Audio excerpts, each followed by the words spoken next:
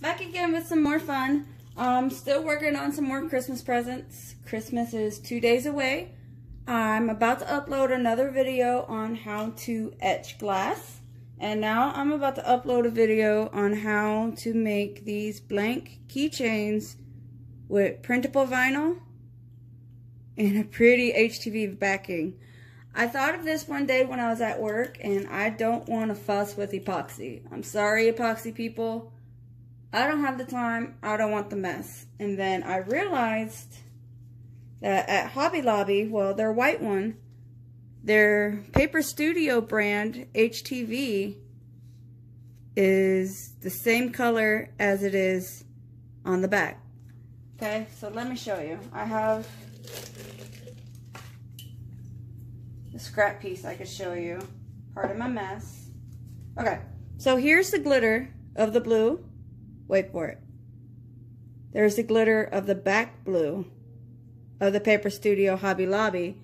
So what I thought is, why not take the Hobby Lobby HTV glitter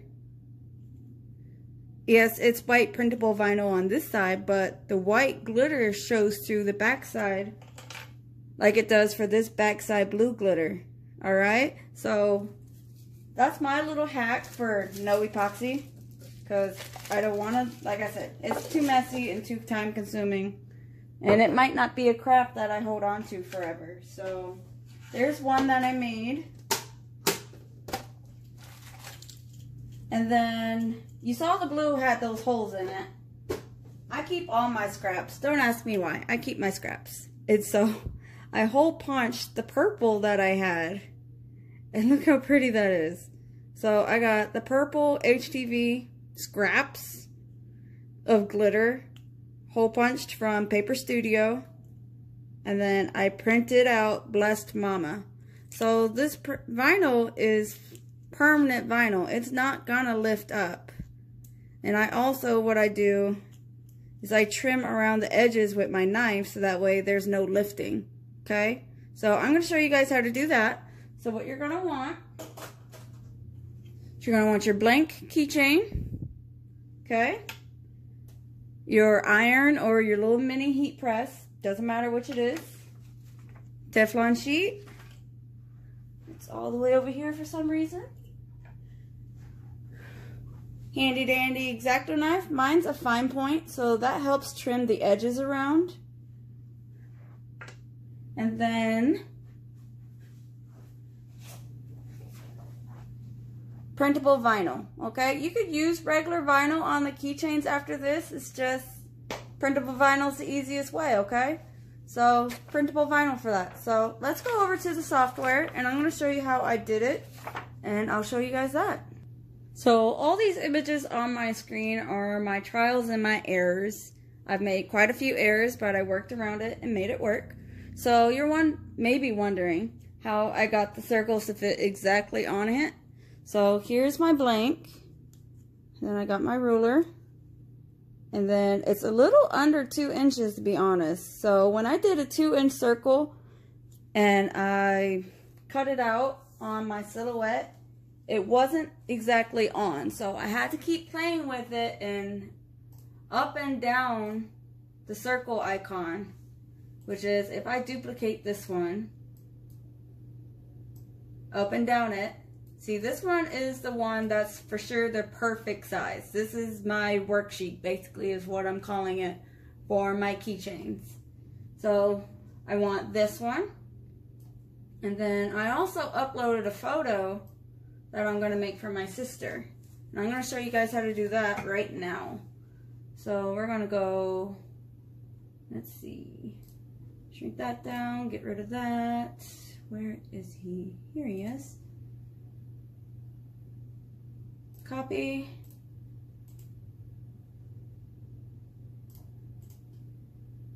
Where'd it go? Why is it when I want to do a video, nothing works the way I want it to. Copy. Well, fine then. Be that way. We'll just drag that little sucker over here. So look, oh, there we go. He's dragged over here. And then I'm going to go back to my template. Just grab one of these scrap pieces. Then copy. Paste it. And we're going to set that to no fill for right now, okay? Get rid of that design in there. I don't need it no more. Okay, so this is the exact circle that I need to get him to fit in, okay? So what you're going to want to do is you're going to want to adjust it the best you can. So his name is Gizmo. He's my sister's dog. And I figured I would make her a cute little keychain. So we're still working on it. Okay, so what I'm going to do is I'm going to duplicate this picture that way I have a copy. So that way I don't have to keep copying and pasting and copying and pasting. So there's our circle in front of our picture. Let me zoom in for you. So I'm going to just stretch the picture over the circle. All right. There we go. So now you're wondering, if not, I'm going to show you anyways, is how are we going to get the picture to show up in the circle, in the circle, not the square, right? So highlight both of those. Over here on the right side, there should be the open modify panel. That's four buttons down from the text panel on Silhouette Studio, okay? So open modify panel, and up at the bottom right, you're gonna see crop right here, okay? Oh, I didn't do it right. I knew I wasn't going to do it right, but we'll try it again. So stretch it out. Oops. Go back. I'm not perfect, guys, so don't judge me too much, okay? I'm learning with everybody else. Adjust it. I want as much as him as I can get in there. So that didn't work. I thought crop would work. Okay, crop did work. I just didn't do something right. Don't ask me what I did right. I don't remember already. Okay, so I like that ish. So what I'm gonna do is I'm gonna zoom out and I'm gonna take this photo, the duplicate, which is exact the same thing as that guy, and I'm gonna try to make it work. Alright. Oh, know what I should have done? I should have duplicated that circle so that way I don't have to worry about my sizing. So what I did is I duplicated the circle picture back down to this picture. And then I'm going to set no fill. Whoa. Where'd it go? Okay. I don't know why it did that. Oh, it turned the line color off for some silly reason. No fill. What on earth? Okay, fine. Where is it? Copy. Paste. Sorry guys, I I do know what I'm kind of doing, I promise. Okay, so there's my template circle. We're just gonna make a few of those. And there is an easier way to duplicate besides click, click, click, and click, but that worked out for me. So what I want to do is I want to get most of his cute little body in the circle. So I have to stretch it out just right. So you see the red part is the circle. And that's kind of where I want him in at. You gotta have some excess picture to play with in there at the same time. But I wanna make sure I get his ear. There, I kind of like that. That's kind of cute. Okay. So, we got the circle. We got the picture. We're to go over to our modify and crop it. And there we are. There it is, okay? So it's perfect. This one I like the best. No. No, no, no, no, no, no, no. What happened? I don't know what happened. Okay. That's the same size as my circle, so I honestly don't know how that one got bigger. I probably did something wrong. Who knows? Most likely I did something wrong. So I'm going to copy it, paste it, unlock layer and paste.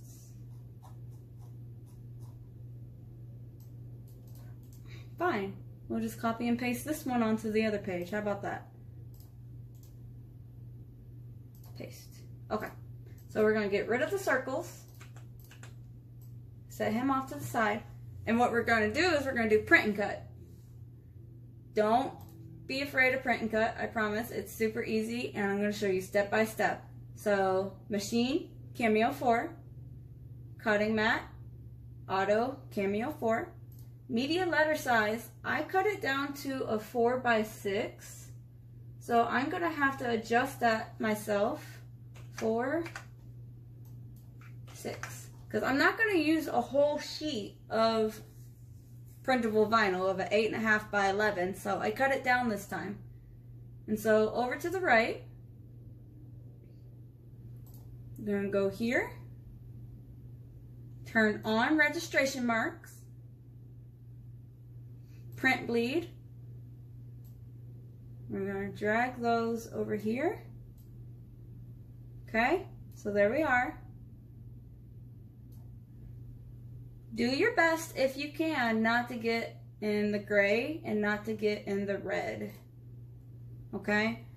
Because this red mark, that's where it, um, that's that cut line and print border line. And the gray line is the registration area to where the machine reads. Because when you guys see the machines go down, down, down, catch it, go down, catch it in here, and go back up and catch it up here. So when the picture's not in the way of that, that makes it so much easier for the Cameo to cut it out, okay? and then always, always, always, unless you're a pro, I'm not a pro, and I want high quality cuts is leave your print and cut at default. Okay guys? When you leave it at default, that's for sure to give you the right cut and at the right edges, if that makes sense. So we're going to go over to File, Print. This is the print preview. Something's not right. I need a 4 by 6 This is set to 8.5 by 11. So Settings, 4 by 6 Push OK. So that tells the printer that it needs to cut it in 4 by 6 but we're still not done yet. So print. I have my Epson EcoTank 47000. So we go to preferences. I have it always set to default on plain paper, bright white paper. The printable vinyl that I'm using is a glossy so that way it's scratch resistant and water resistant. So don't leave it on plain paper, bright white paper, or else it's not going to work right, okay? So you're going to go down to, you can do Ultra Premium Photo Paper Glossy, Premium Paper Photo Glossy. I'm to do Ultra. Honestly, I'm to leave that at standard quality. I like my standard quality better than my high quality. For some reason, I've talked to Epson and they didn't have an answer for me. On the high quality, it prints the pictures darker than what they should be. And I really don't like that. I like it crisp as I see it on my screen. So we're going to push OK and then apply. And so now we're going over to the printer. All right, so we're at my EcoTank. And then I have my paper of it's supposed to be 4 by 6 but I cut it a little bit longer, but it should be all right. So it's going to go down like this in the printer.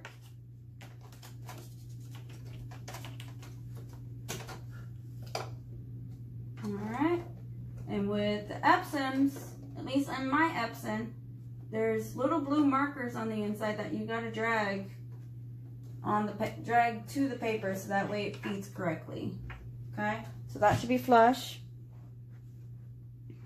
All right, when you put new paper in, see if you guys can see that when it focuses. Says previous setting plain letter paper. We're just to confirm that for now. And then I'm going to show you guys that screen again as soon as I push the print button because it's going to change. So pushing print.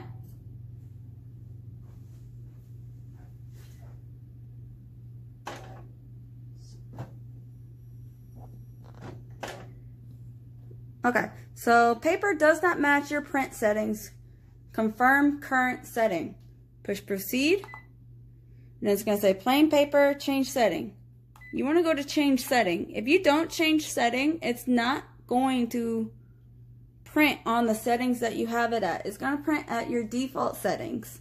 So paper setting will be changed. So print.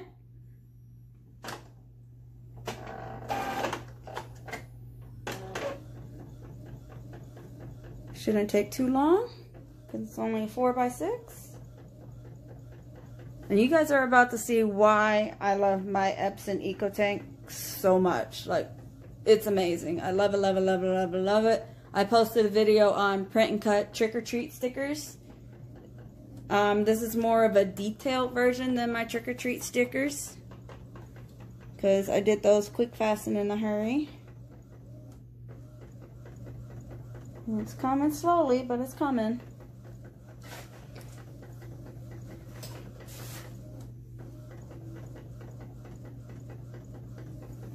Almost there, I promise.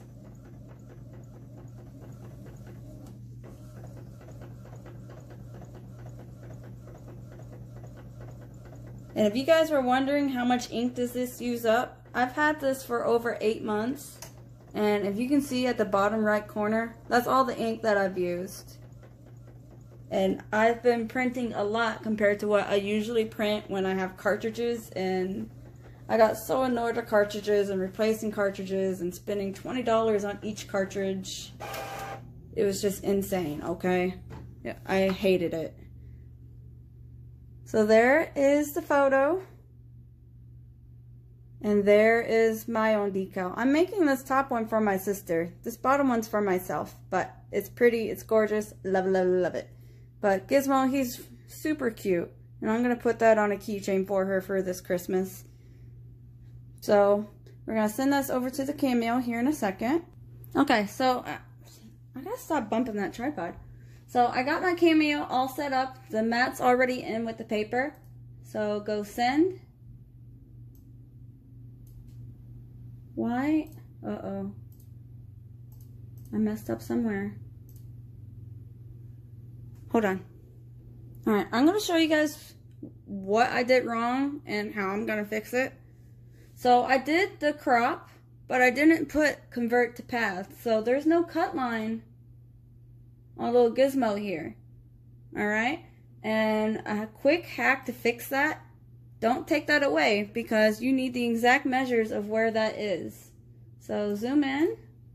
Make a duplicate of your other circle since it's the correct circle and correct size. We're not going to reprint it. We just need it to cut that circle. Okay, guys? Just line up that circle the best you can to make it flush on that back picture. Zoom out and let you guys see. So Gizmo's gone, but he's printed on that paper. Versus reprinting on new printable vinyl, I just duplicated this bottom circle and dragged it up top to cover him up, okay? So we're to push send, and now it's back at two circle lines, which is the way I like it, which is perfect. So action, cuts, ratchet. The reason why you guys see me doing this in my videos is because I'm using the CB09 blade. really? And it's a little bit sharper than the auto blade. Hi, honey. That is my cat, Twilight. He's saying hi to everybody. So those are my settings. And I'm going to show you guys the print and cut of it. So I'm about to push send, and then it's going to do its registration marks.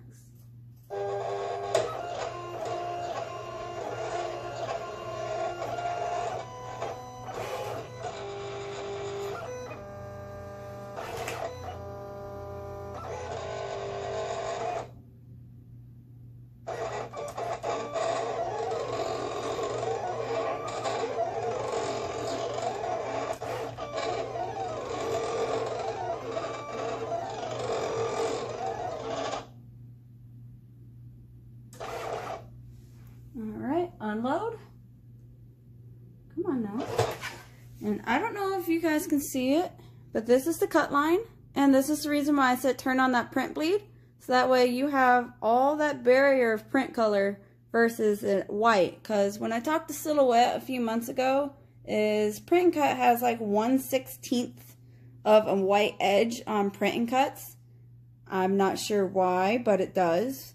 But that's the workaround of that is turn on your print bleed and then it's going to outstretch the white background or the white, yeah, the color border around your cut because the circle is the exact cut mark. It cut perfect circle of how I had it set up.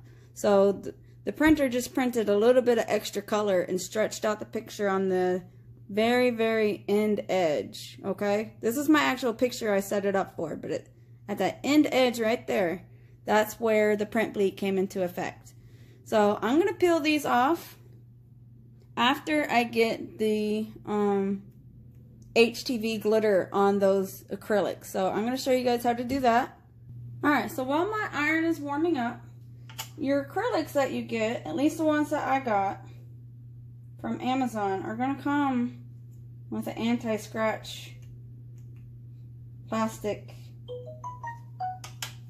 piece on it. You're going to want to peel that away. Throw it away, throw it away. And it's going to be on both sides. We're going to want to peel off both sides while we're waiting for the iron to wake up.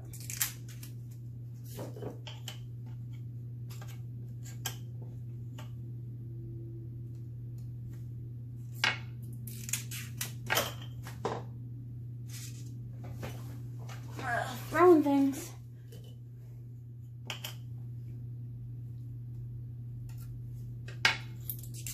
So now it's nice and crystal clear on both of them instead of that little film on the back.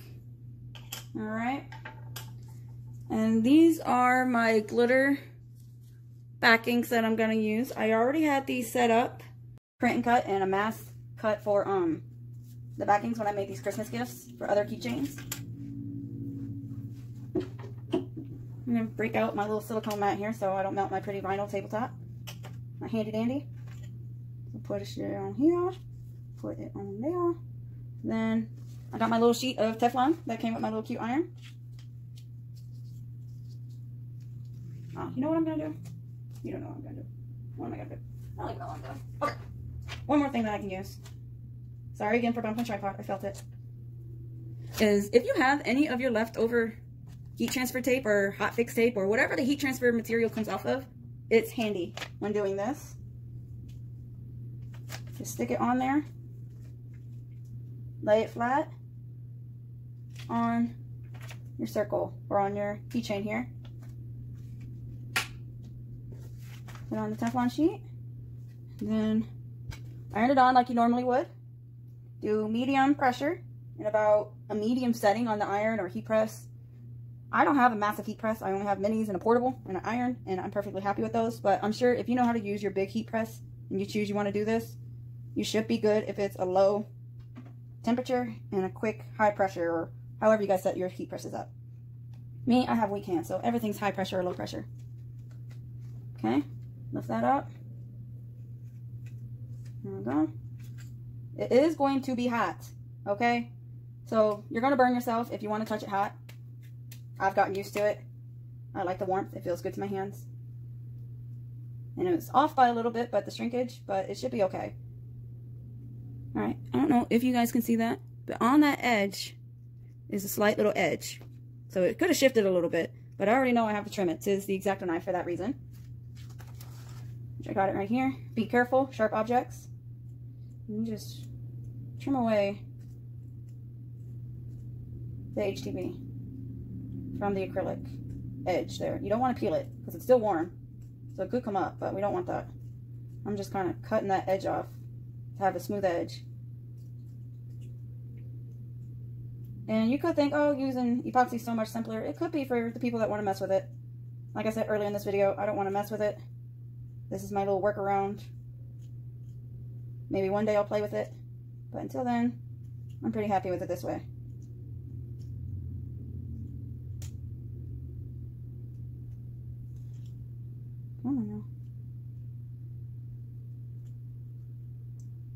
To get that trimming. All right. And we also have the hole that we have to punch. So I have a very sharp knife.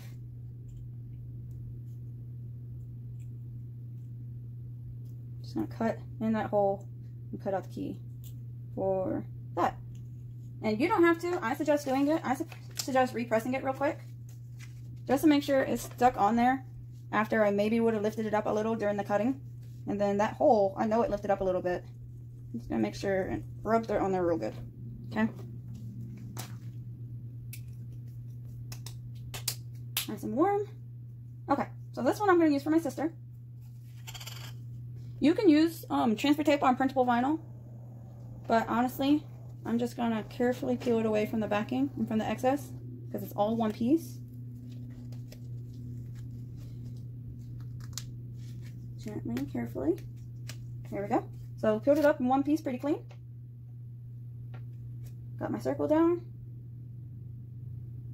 Trying to get it as even as I possibly can.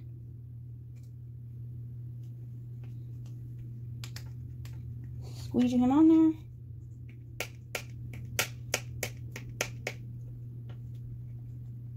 All right, looking good. All right, so there's our little gizmo, my sister's dog.